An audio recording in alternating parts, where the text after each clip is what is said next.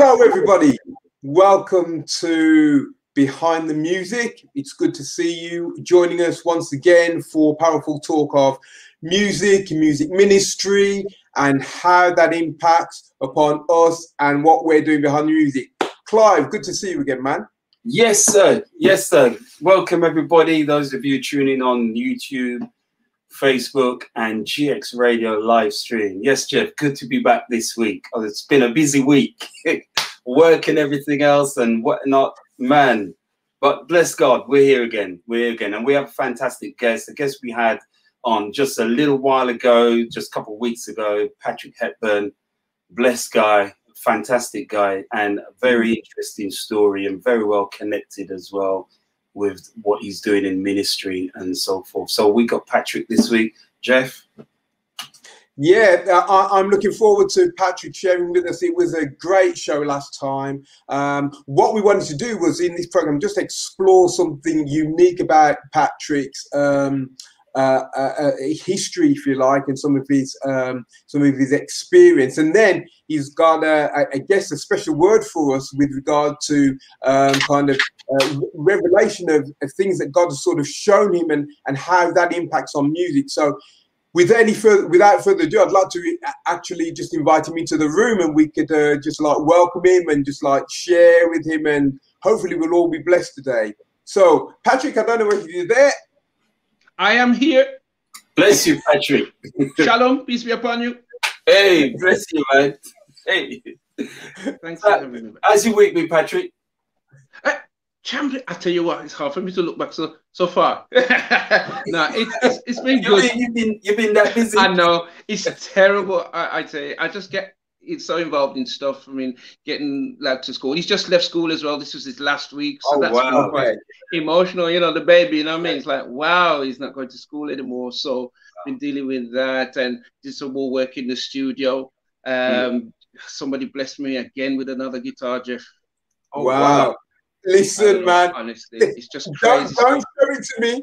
Because the last time you showed me a guitar, I went out and bought one exactly. Upset your spirit. It's all right. It's a bass this time. It's a bass. so, oh, okay.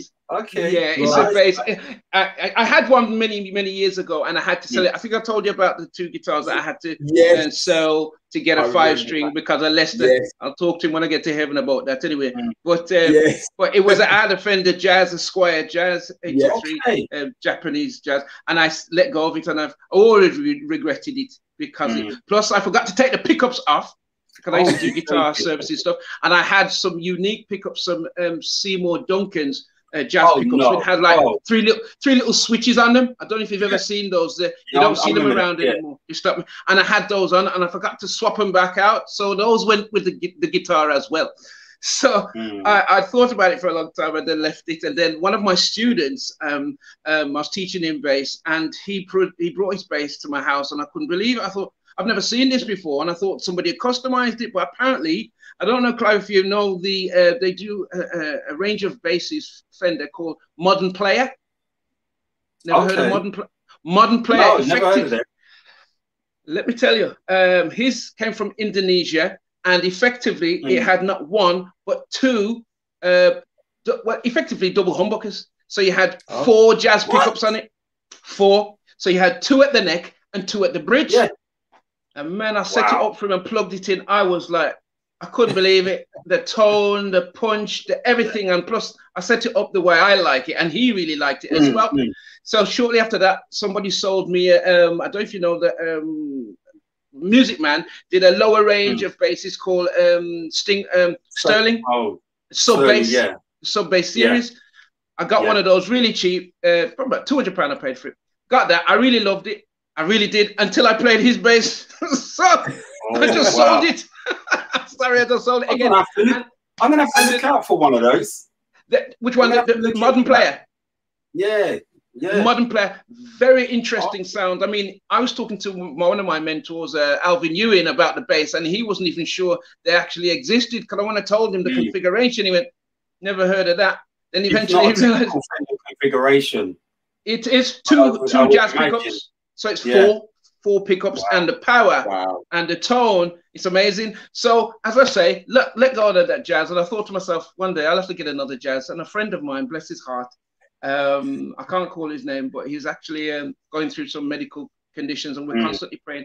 And he's been blessing me with stuff. And he just said, "I've got a, a bass for you." Well, he said a Gibson wow. bass. So I went, "Okay, Gibson Jazz." Went to his house last Monday, Fender Jazz, wow, uh, Indonesian, oh, wow. and he says, "Take it."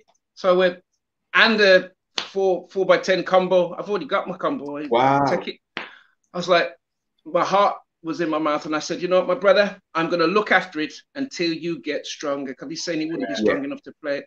Mm. But I'm mm. declaring by faith he healing, Amen. or he will Amen. get that transplant Amen. because we're yeah, waiting yeah, for yeah. he's waiting for a kid, he's waiting for a liver, he's waiting for a okay. liver. Okay. So uh, that's where that is. But you know what? I've, the week has been great. I'm still blessing, still praising. Mm. Um, mm. You know what can I say? Reading, studying the word. Um, my heart's really in Hebrews at the moment, but I can still share with you a little bit of what yeah, no, you know cool, I shared last time. Cool. Well, yeah, listen, last, time, last time you were on, you know, you were talking about um, one of the the tracks that you you wrote, um, "Sacrifice of Praise." Yes, sir.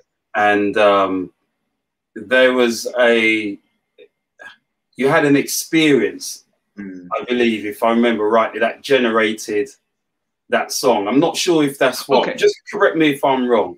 Um, and I thought it'd be very interesting to um, talk about and find out about um, what experiences because it's always um, interesting. Um, because Jeff and myself were talking after the show, you know, and I, we were both saying, you know, it'd be interesting to find out what actually happened that generated the song.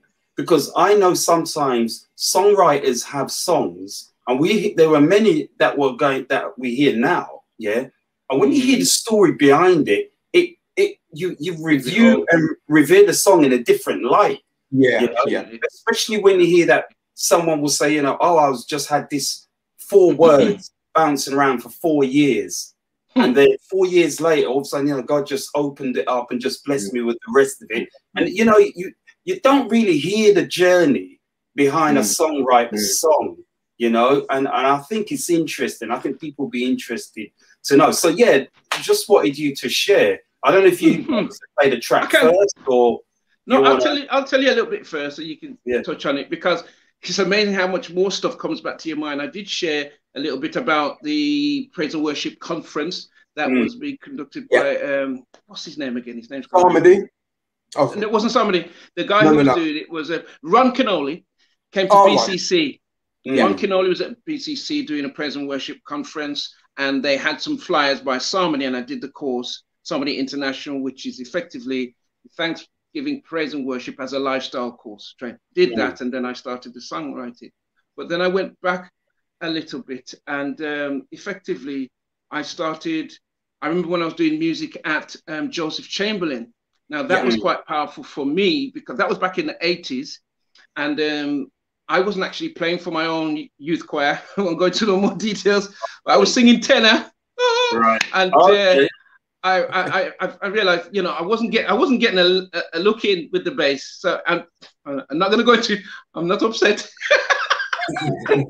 hey. So anyway, pray for me, brethren. So effectively, I was asked to play bass for um, Small Heath Gospel Choir okay. when it was being led by um, Lilith Woodley. Mm. Lilith Woodley, because we all went to Joseph Chamberlain College at mm. the same time and we were doing uh, music and so forth and so on. So I effectively started playing for choirs there and I was working with David Brooks.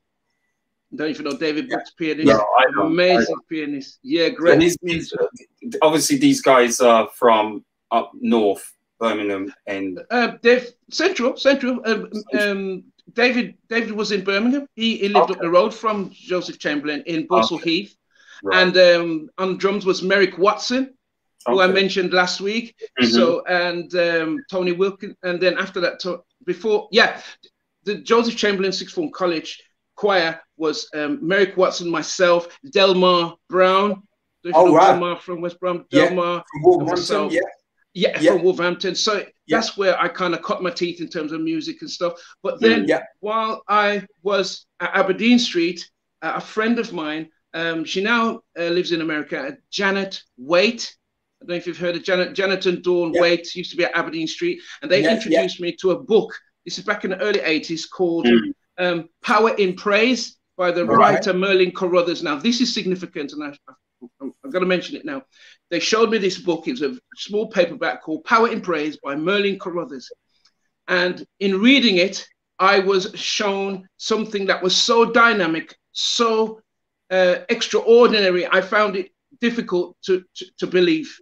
It was about the concept of giving thanks in every situation. Wow. Now, I, I was raised in prophecy from in the 60s at Farm Street under J.N. Powell, and Wilton yeah. was my Sunday school teacher. Yeah. Me and Bonnie Dryden was in the same class. Now, we were taught, I'm running for my life, I'm running for my life. And you know, when you when you're in trouble, you must cry out to God and you must bawl out and, and lament and pour out and so forth. We were never taught to stop and give God thanks in mm. recognition that we were in the situation, that He yeah. is there with us.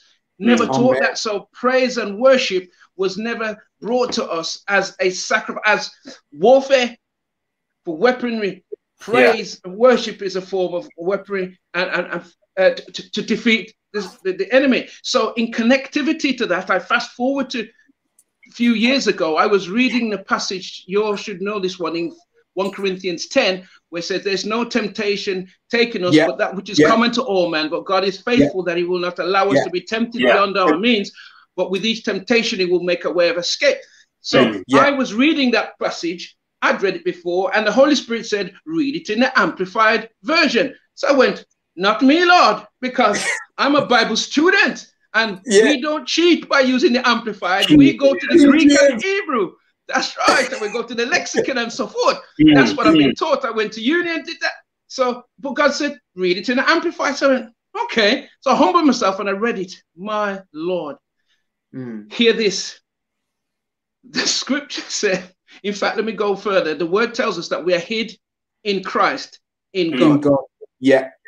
yeah. So, effectively, any difficulty, any challenge, any test that comes to us must yeah. first pass Come through the Father Absolutely. and pass through the Son. Absolutely. So, this thing done. The, the brother has circumvented me and stolen my thunder. Sorry, man. Hear, hear, hear what the Lord said. Sorry, it's the truth. you bang on, Brother Jeff. Hear what the translation said in hmm. um, mm. the Amplified. He said, every test is adjusted and adapted. Oh, Look at that. Yeah.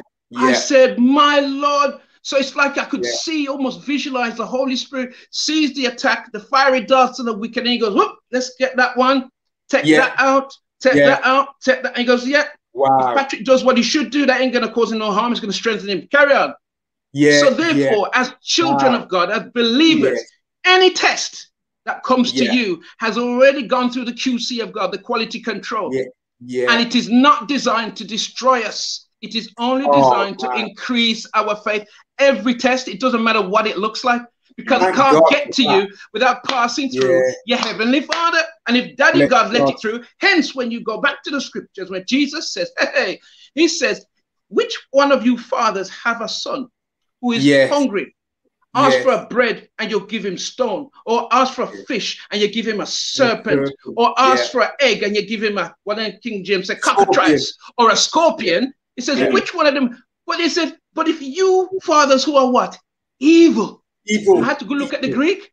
He said, yeah. Why are you complicit? If you're evil, you're, you're, you're wicked. He said, Which mm. one of you? He said, Because you God's dads are evil. If you know how to give good gifts, mm, how yeah. much more will not your heavenly Father give you good things? And when you combine all of that together, you see, there's no weapon that can prosper because anything that comes to your doorstep, your daddy God has allowed it hey, to come. Whether you like it or not, whether you like it or not, mm. the theology is sound. Nothing Absolutely. can come to your door without a daddy God allowing it to happen. Absolutely. So it wasn't Satan. It wasn't God who tempted um, uh, Job. God yeah. allowed Satan. Mm, Satan had to get permission. He said, yeah. "I'm walking to and fro the earth," and God said, "Well, have you come in?" God brought the man's name. He said, Have you considered my servant Job? Yeah. Then he said, yeah. Well, you know what? I've been looking at him, you know. God don't know already. And he was watching yeah. He was watching him. And he says, Whatever you do, don't take his life. So yeah. Satan cannot do anything, no difficulty, no trial, no circumstance. Nothing can come to the door of a child of God from your walking with God without yeah. God's permission. And if he's allowed it to come Absolutely. through, it's to build your faith. And as you know, with fitness, you can't build your muscles lifting feathers, Bridget. Yeah. Yeah. You've right. got to have some heavy weight. Listen. Yeah. So, so anyway. Well, oh, you know, no, no, this, this, the old saying is true, in it? There's no testimony without a test. That, yeah.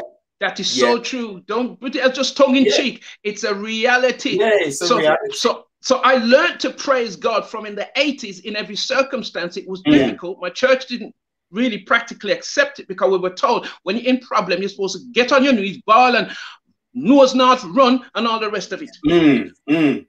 Listen, in everything give thanks for yeah. this is the will of God in Christ yeah. Jesus concerning yeah, you. Absolutely. So that was then translated into the music when I did mm. the course that God spirit is a singing spirit. So we continually worship. So uh, I was exposed to the word of God where it talks, let the high praises of God be on their lips as a mm. double-edged sword in their hands, wow. you know, worshiping God constantly. It says, offering a sacrifice unto him continually, which is the fruit of our lips, giving thanks to his name. Worship is weaponry, worship is power, worship. And when you connect it with music, as we touched on the other week, that mm. comes from the word muse, which is to meditate, to, to, yes. to, to to put to ponder. Yes, when you yes. connect music and words together, it is propelled with such power. That's why, as musicians, we have an awesome responsibility. Yes, I acknowledge the, the, the spoken word is powerful. And yes, the, um, the, the, word tells us that uh, um, death and life are in the power of the tongue, and they that love its yeah. fruit live thereby. You can speak yes. words and you can undermine your works of your hands with your words. But mm. when you communicate it with music, there's such yeah. power. So that was one that was the driving force behind the song that you're going to play for me now. Okay, let's let's just play that song now.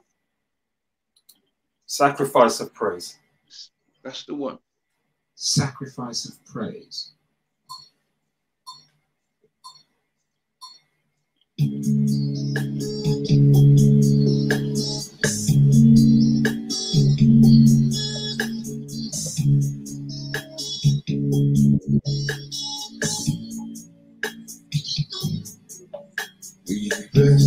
You, Lord Jesus. We worship you, O Father. For you alone are worthy. You alone are Lord. For us you made provision to come into your presence. Bring sacrifices of praise. Bring sacrifices of praise.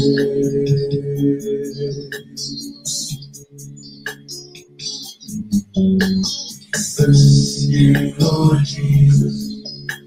We worship you, O Father. For you alone are worthy. You alone and no other. For us you made provision to come into your presence. Bring sacrifices of praise. Bring sacrifices of praise.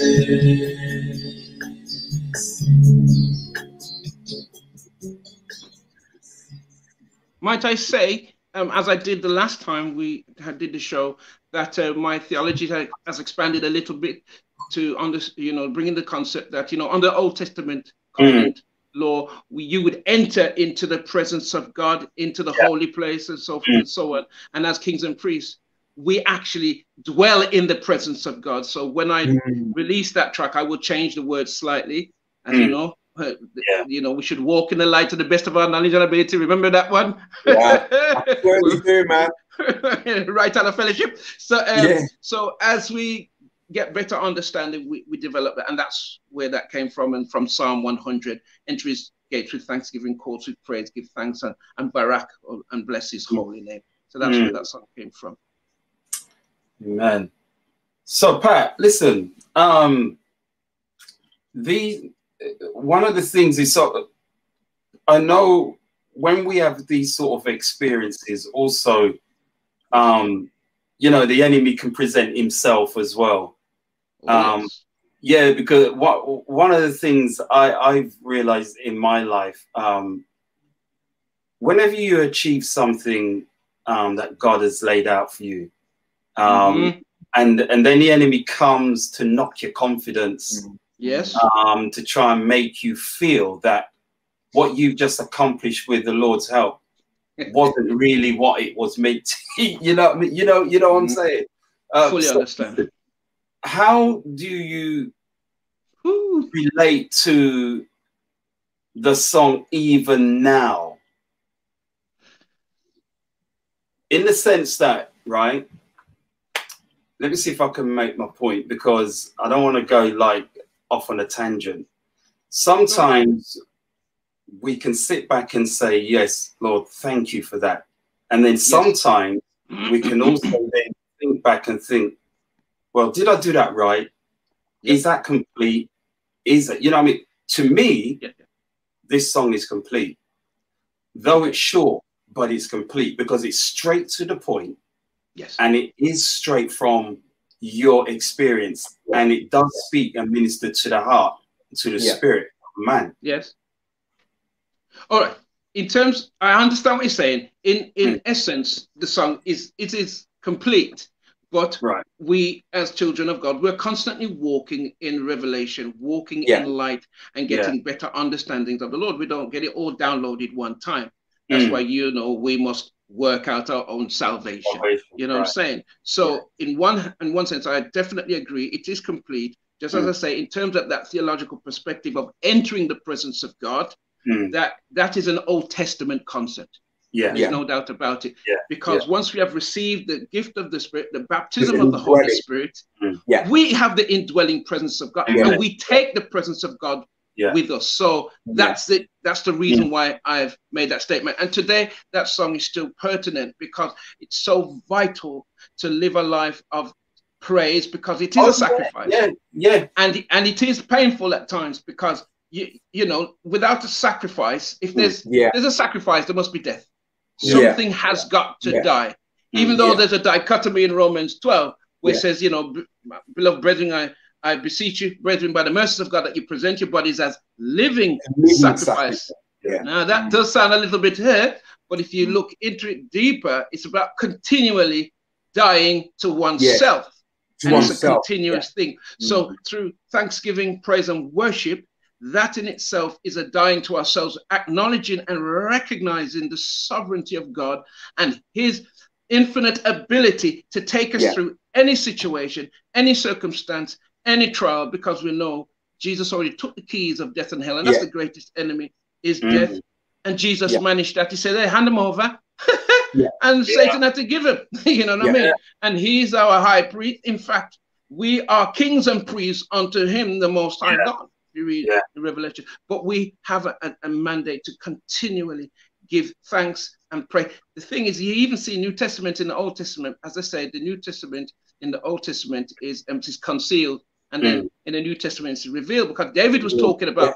you know sacrifice and, and and offerings you you you you you, you didn't ask for it. He says, but a, a broken spirit, a broken and a contrite yeah. heart, you will not mm. despise. So even David was talking yeah. spiritual matters. Yeah, yeah, then thousands of years ago. So what God wants from Absolutely. us is that that praise, declaration, confessing. There's so much we tell you about the word, speaking the word. I've seen the manifestation of God's favor just by speaking the word over a situation to to the point yes. where my spirit agreed. When you were saying originally, you probably didn't fully believe it, but you keep yes. on speaking the word. Yes. Jeremiah said, God, mm. God, God hears his word. He says, He um oh gosh, the passage. There's so many passages that are rushing through my head right now. I'm so excited about the word of God.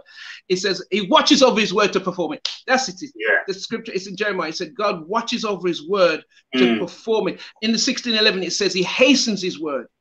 But yes. the Hebrew means to watch over ceaselessly, ceaselessly mm. without sleeping. So when you yes. speak the word of God, God goes, hey, hello.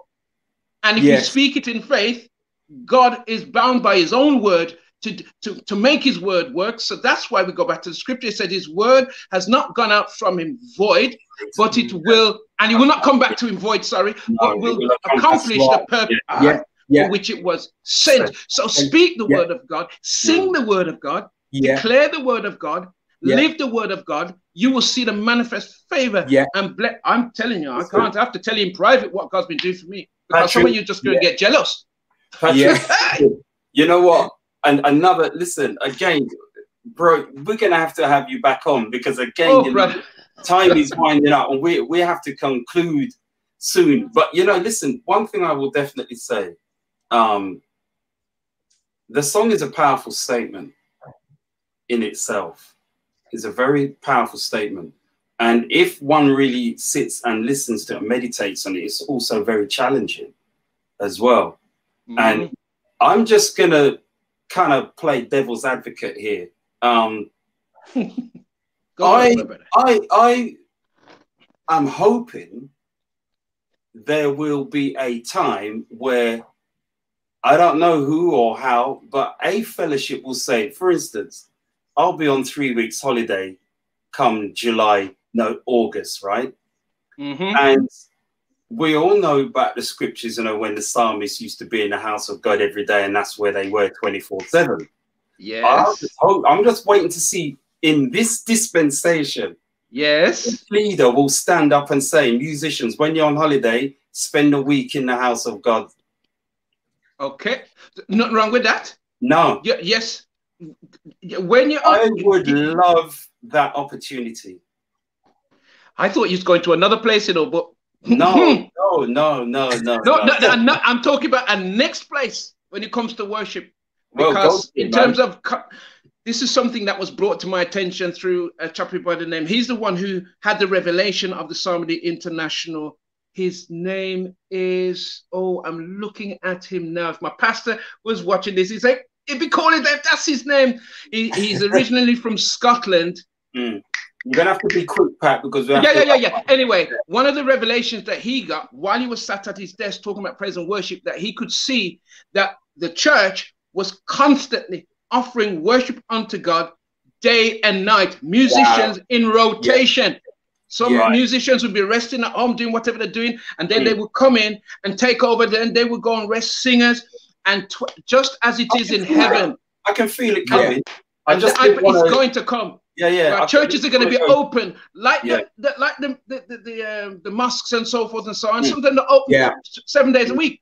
The church yeah. should be open every day of the week and constantly, constantly yeah. worshiping and people coming in. As Pastor Louita would say, churches should be a hospital. People mm. going sick, come out whole. So yeah. that's what I'm looking for. Jeff, we got to wrap up. Go for it. I know, 29. Oh my God. Oh, wow. Wow. Oh, just there was more. Say, you know, oh, there's more. Oh, there is so there is so much more, and you know, I just hope that people have just been listening to this and have really just been blessed. As you can see, Amen. once we people talk about musicians just playing, but listen, we have a depth hey. of the word because the Hallelujah. word dwells and lives in us.